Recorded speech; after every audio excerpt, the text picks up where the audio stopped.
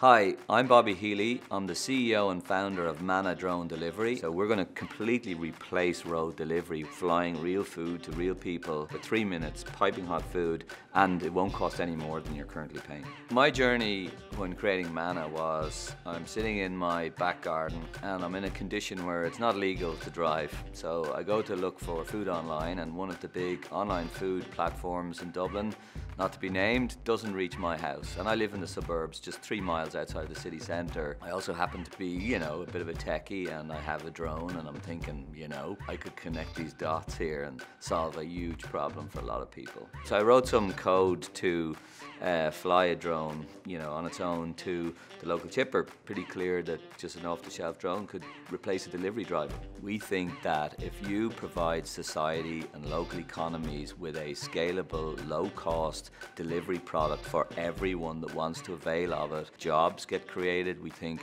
the relationship between consumers and their local economy changes. We think that the whole world gets better as a result of being able to easily, cheaply, at scale, get things from one place to the other in a green way. We'll start off with food. However, we'll immediately go to local convenience store items, to everything you need in your local economy. There's no reason to say that a mother that has a child with a fever, you know, wakes up at one o'clock in the morning, can't have medicine for that child, you know, in five minutes. We think that we can go wider with our choice of products that we offer consumers, but essentially the way to think about it is absolutely everything that you need within five or six miles within five minutes.